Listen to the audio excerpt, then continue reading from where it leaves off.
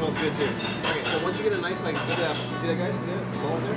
Oh, it's nice. Good. Okay, so now what you want to do is you want to go not too thin. That's good. That's good, Luke, right there. And you want to kind of try to keep it as round as possible. Okay, so just like this. That's okay. It's a good straight. Okay, now guys. So this is called the plancha, the, the, or the, the tortilla. Put those two next to it. There you go. Okay. So like, if you don't uh, brown it first, it's really sticky and hard. Now that it's like this, right, it's really easy to do. Finger, your index, and you kind of squeeze it, not too hard, just like this, around. Uh-huh, you can kind of spin it. There you go. Okay, keep going around. And you're sort of, also you want to do is you're going to kind of push down the center as you go. Awesome. Good. You, the cool thing about this is sometimes when they get big like this, guys, and sometimes they'll do tiny little little guys. And we do this for like tray pass orders. So, so take it like this, anyway. Spin it and kind of pinch it. Let's do this one here. A nice little boat. Okay. Next thing we're gonna do, guys, is we're gonna. That's good. We got Levi's little tugboat over here. All right, now, guys, this one here. Let's take this off. Okay. Now you know what? You want to do this one too? But you know what? First, what time it is? It's time to fry them up. You guys ready to do this? Let's go. Alright, the sopes, we're gonna put them right in the middle of this basket here. And then we're gonna deep fry them for about uh, about 40 seconds. Make sure they're totally submerged in the oil. Nice and friedy fries. They're gonna get brown, yummy. You want to find the, the happy medium between like like like a light brown and kind of still like cooked, but still crunchy. Okay. Put them over here.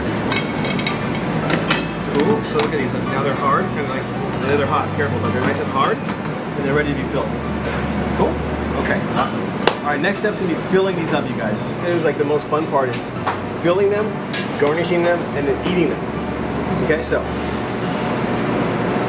first of all, these are like these really cool pea sprouts. You see the these bottoms here? These are actually peas, and we're gonna make a vegetarian one as well. So we're gonna kind of garnish them with this, which is really cool. So we've got black beans, we've got refried beans, we've got chicken tinga, we've got al pastor, we've got our carne asada, we've got carnitas, we've got so many different choices. That's perfect. Shoot anyone, yeah. Good job. And then one more scoop. Awesome.